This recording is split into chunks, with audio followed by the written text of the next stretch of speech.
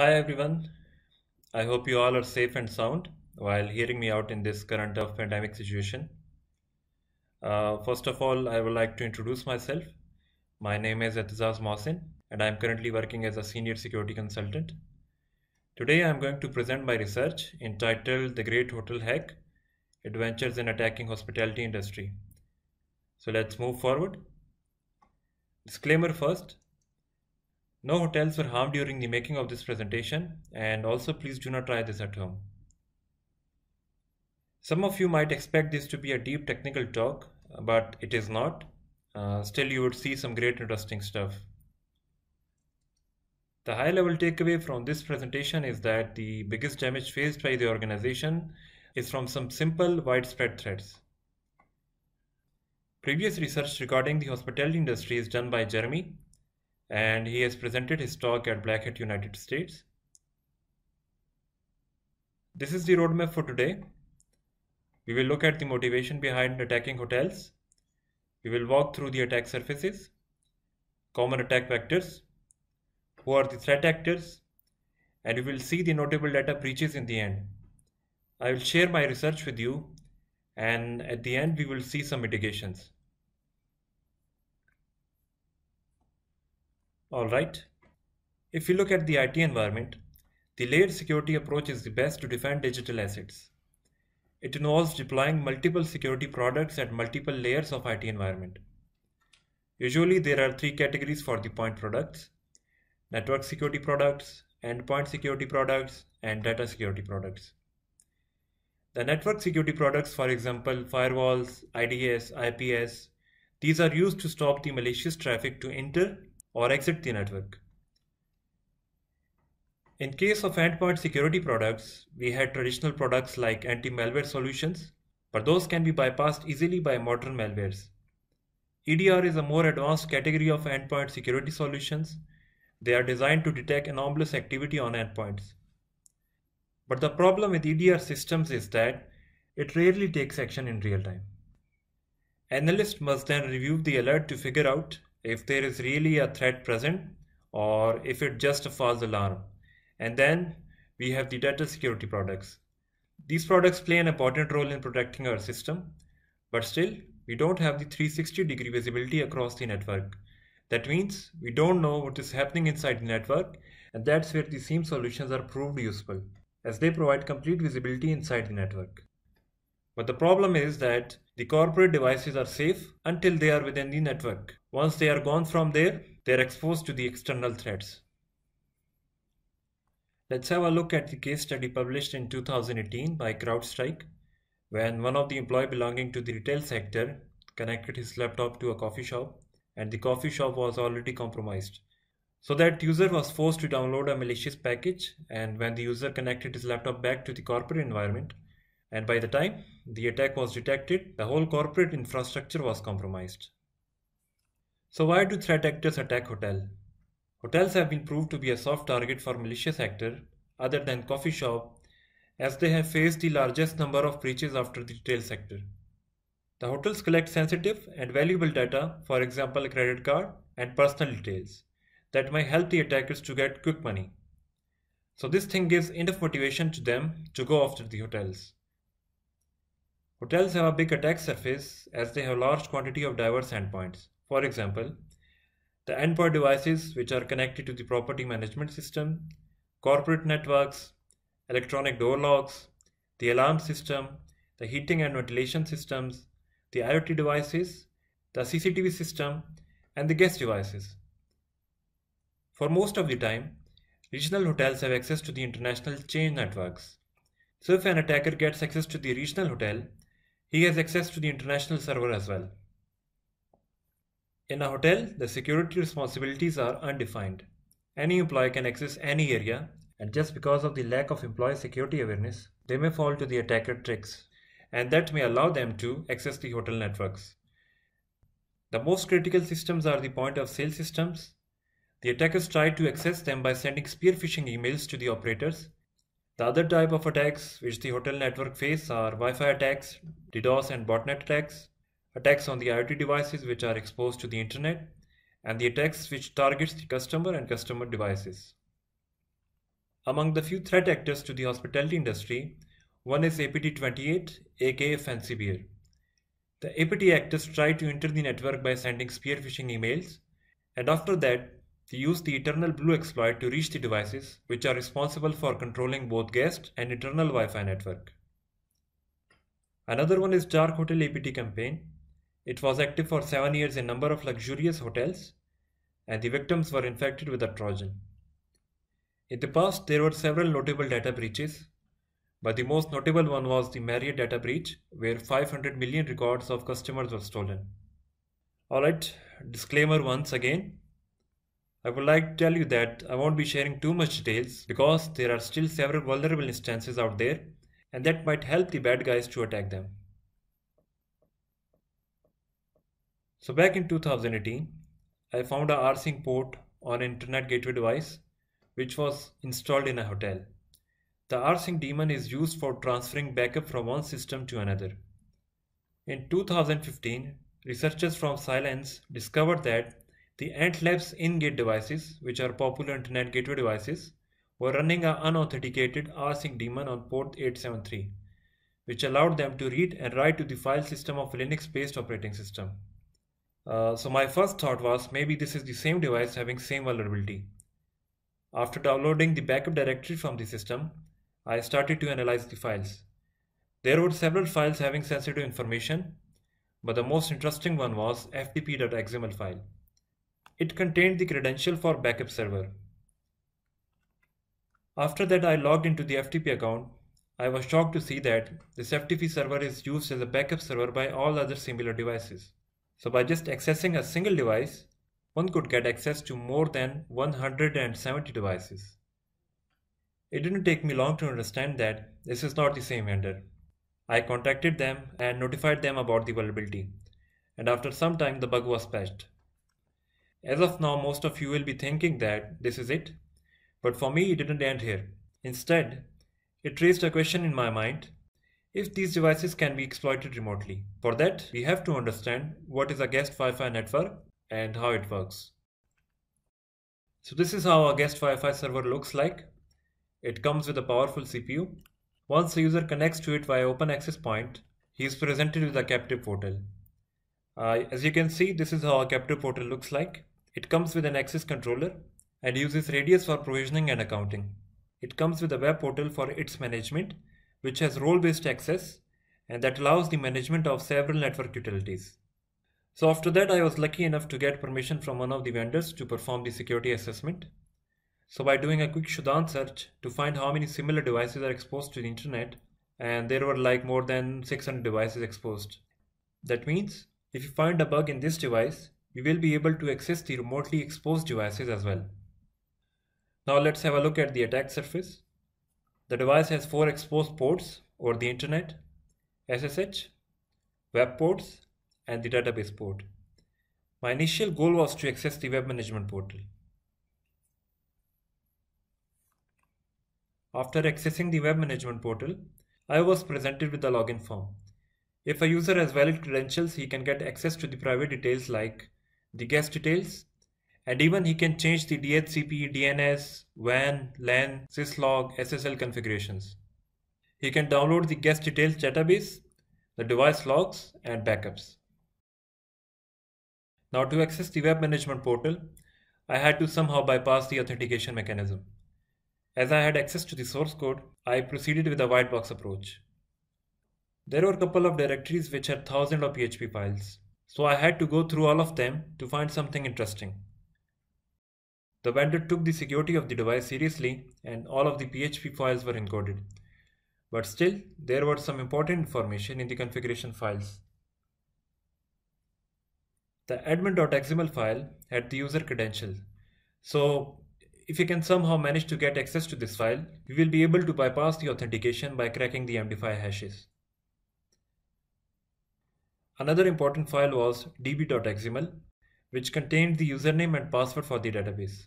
The username and password was hard-coded and there was no way to change it. That means these credentials can be used to access any of the exposed database. And here you can see I was able to access the database.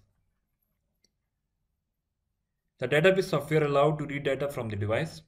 So my thought was to read admin.xml and crack the hashes to get into the web management portal. But unfortunately, we didn't have the privileges to read it. The database had several tables which had useful information. For example, in this case, we have the firewall rules which we can manipulate. The database contains guest details, room numbers, the guest names, the arrival and departure date.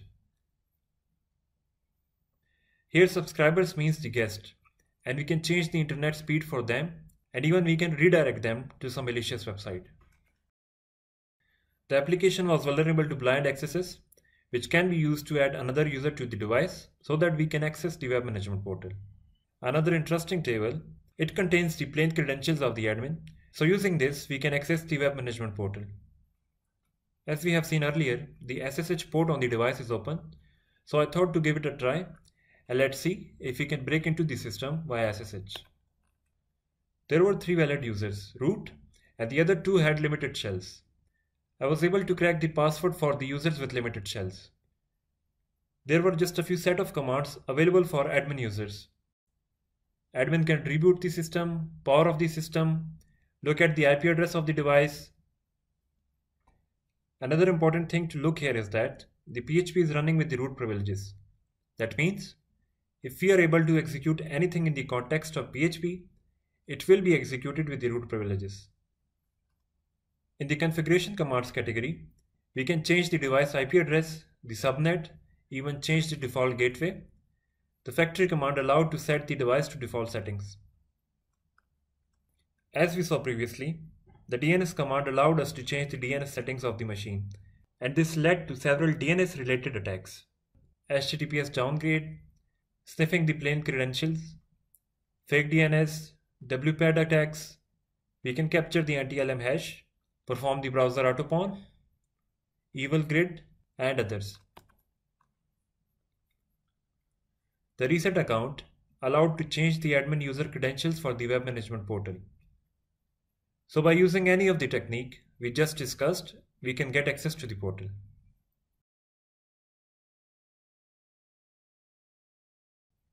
So this is how the interface of the portal is. Through the portal, we can look at the list of active users and their details. Most of the user host names are binded to their MAC addresses. This gives an edge to an attacker to pinpoint the target in the network. Here we can look at the connected devices IP addresses. Here we can see and change the DHCP configuration. Here we can change the DNS server which will allow to redirect all the traffic to our rogue DNS server. We can also set the custom DNS entries. For example, I can set IP to facebook.com. We can use GYDNS service to access the device over the internet, even if in the future the IP address of the device is changed. Here we can look at the WAN configurations, the default gateway IP, and the subnets. This device allows us to perform port forwarding. We can even disable the SSL, which will allow us to intercept the traffic in clear text. The device has built-in utility to perform traffic interception. We can look at the firewall rules and we can even change them. We can download and look at different type of logs and even we can make and download the backup of the device. Whenever a new guest arrives at the hotel, the property management system sends record to this internet gateway device and here we can look at the records of all the guests staying in the hotel. Here we can look at the IP address of the property management system and its port which can be used to launch an attack against it. Here are the details of the SMTP service. The device is using Office 365 for mailing purpose. As we got access to the credentials of it, we can launch further attacks using it. The device was very much secure. I found an endpoint which allowed me to upload a zip file containing a PHP file. And once that file is passed to the web server, the PHP code inside is executed. If you guys remember in the beginning, I had mentioned that PHP is running with root privileges. So now anything executed by the PHP will be executed with the root privileges. Let's have a quick look at the demo. So I just need to provide the IP address of remotely available device and it will get me the root access on it.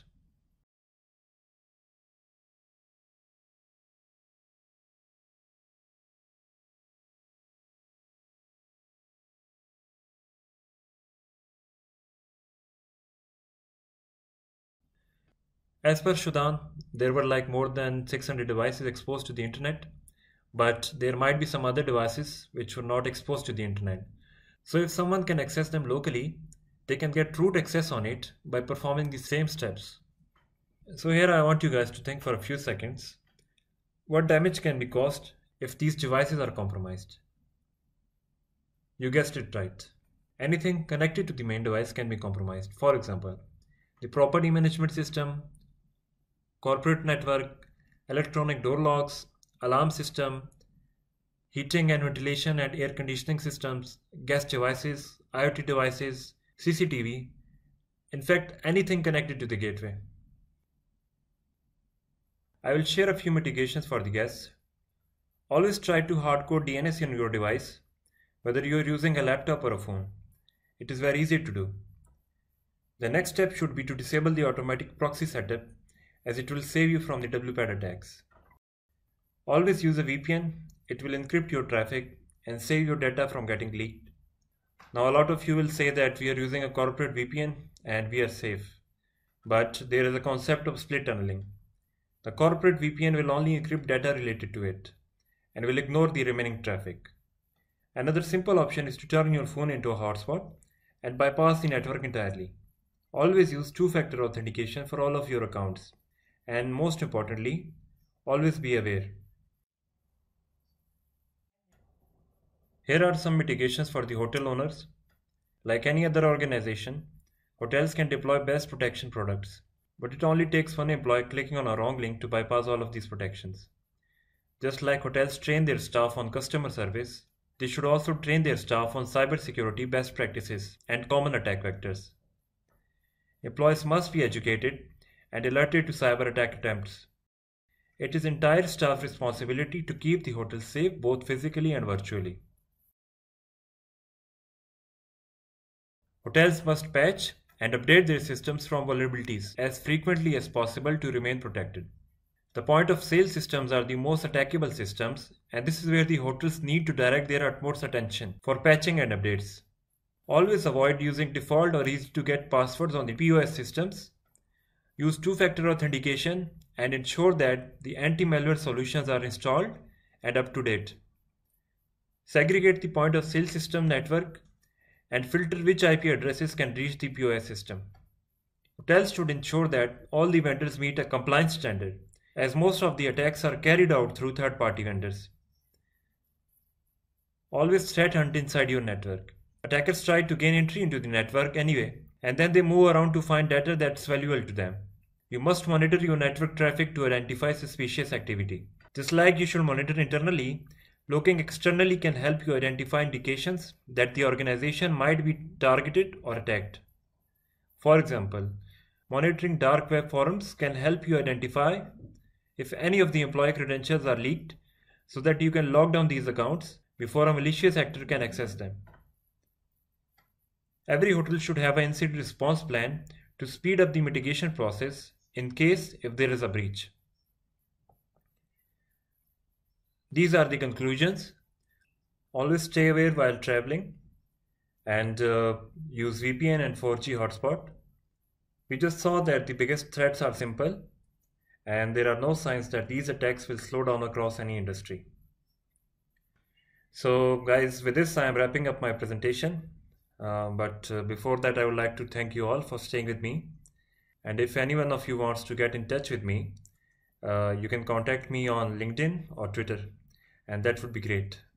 So take care and uh, goodbye.